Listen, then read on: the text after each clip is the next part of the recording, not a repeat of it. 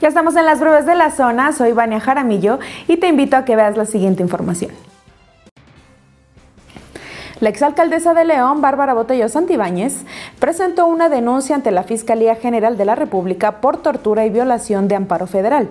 Hizo responsable de su seguridad y su familia al gobernador del estado, Diego Sino Rodríguez Vallejo, y al fiscal general, Carlos Amarripa Aguirre. Su abogado, Alejandro Ochoa, detalló en una rueda de prensa los motivos legales de la investigación y mostró el video de la detención realizada en mayo del año pasado. Los elementos del Ministerio Público nunca presentaron una orden.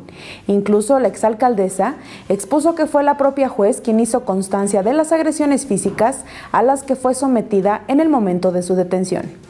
La priista afirmó que ha sufrido de amenazas en su contra su familia y amigos.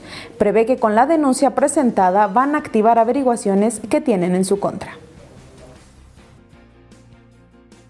Este martes, la Procuraduría Federal del Consumidor clausuró uno de los nuevos estacionamientos para el recinto ferial ubicado sobre el Boulevard Francisco Villa, a un lado del Parque Ciencias Explora, bajo el argumento que no contaba con información sobre el costo del boleto extraviado, así como las formas de pago.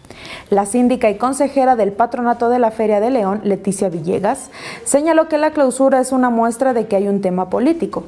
Será en cuestión de días cuando el estacionamiento esté abierto al servicio público, en tanto, cuidarán todos los detalles para que la Profeco no encuentre otro pretexto, afirmó la síndico.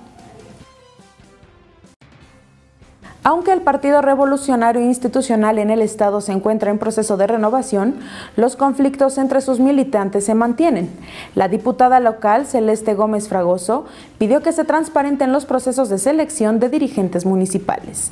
La preocupación de la priista es que varios presentaron exámenes para buscar las dirigencias en los comités municipales, pero pocos fueron los que aprobaron.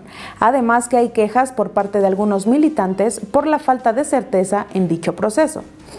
Celeste Gómez agregó que su partido pasa por momentos complicados en la entidad y a nivel nacional, por lo que se le debe dar la oportunidad a sus militantes a que aspiren a cargos al interior del PRI.